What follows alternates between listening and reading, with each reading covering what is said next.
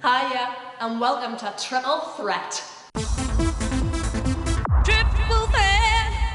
Hello, and welcome to Triple Threat. The ultimate talent search to find the ultimate all round performer. As you know, this show is about three things singing, I just can't get you out of my head. Dancing, and acting. Two pounds fifty, please. Thanks very much. and if we find one performer that excels at all three, then they become the triple threat. Triple threat. Hi, my name's Jeremy. People call me Jez. You can call me Jez. I'm Triple Threat's resident psychologist. I work here at Triple Threat. Excuse me. Hello? Yeah, not now.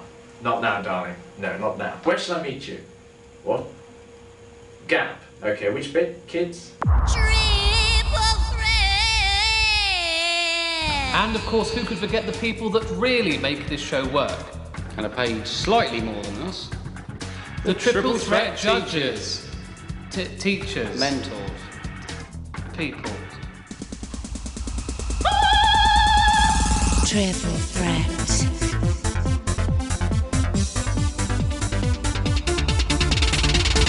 Triple Threat. Wow. Wonderful. For me, wonderful. Superb. You, you tried very hard. Absolutely. Fabulous. I think you were absolutely bollocks. Oh, does it rise? Where are the teeth and that tits? Where are the high rise, kicks? Marcus? Does it rise, Marcus? Is that what it does? Well, it didn't rise It's for not me, that's for it doesn't sure. matter. Triple threat. Hi then. So tell us your full name GP. and what does that stand for? Personal. I've come from Tunbridge Wells and that's where I live and we got Tunbridge Wells Massive. And have you always wanted to be a triple threat? Gay pride! My sister said to me you should come to the UK and win triple threat. And I said no. She said yes. I said no. She said yes. I said no. She said yes. I said okay. So I did. Here I am today, queuing for two and a half hours in the rain like a wet bitch.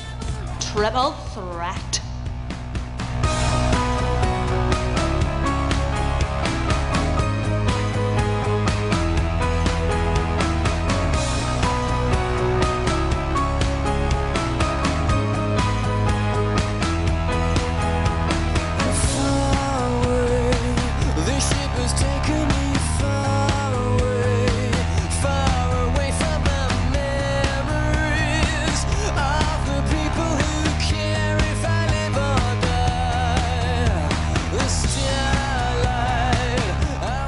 So, I bet after that, you want to know more about Triple Threats. I'm sure they do. yes. If you want to know which theatres Triple Threat will be playing at, Yes, please. yes, then go to myspace.com forward slash Triple Threat Comedy.